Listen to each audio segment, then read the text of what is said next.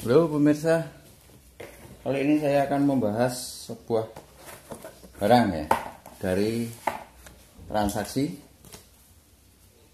di situs jual beli online Bukalapak dengan nomor transaksi 180 907 748 344 180 907 748 344 yaitu sebuah timbangan dapur dari pelapak yang ada di Jakarta Utara ya. Ini barangnya kemasannya ini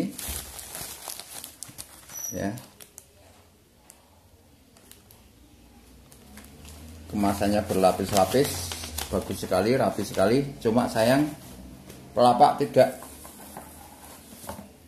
biasanya tidak memperhatikan catatan yang saya berikan ya dalam catatan sudah saya tulis, tolong dicek dulu sebelum kirim karena saya malas sebetulnya untuk komplain atau retur atau refund. Berhubung ongkos kirimnya juga hampir sama dengan harga barangnya. Ya. Jadi ini kalau seperti ini tidak membela pembeli, istilahnya pelapaknya sembarangan ya. Ternyata barang yang saya terima tidak nyala sama sekali ya. Ini dalam keterangan di sini pasang baterai ya baterai sudah saya pasang. Ini.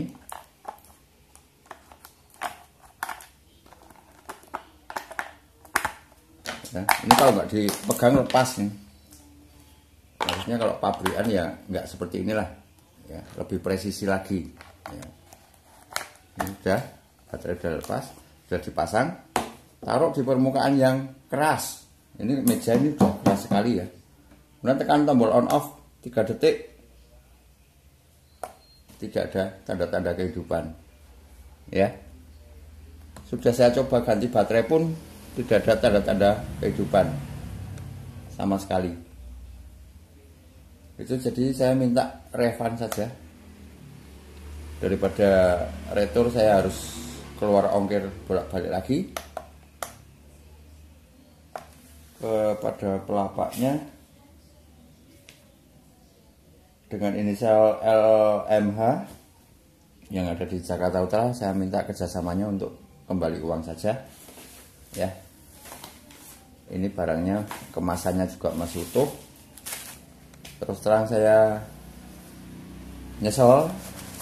Misalnya apa? Kemasan sudah rapi seperti ini pelapak sudah bagus sekali memperhatikan pembelinya Cuma sayang barang yang dikirim tidak berfungsi. Sebetulnya ya, ini kemarin saya terima baterai masih dalam posisi tersegel, terbungkus plastik. Saya lebih suka nerima barang baterai sudah terpasang seperti ini. Walaupun kelihatan sudah dipakai tapi setidaknya menandakan barang betul-betul sudah dicoba.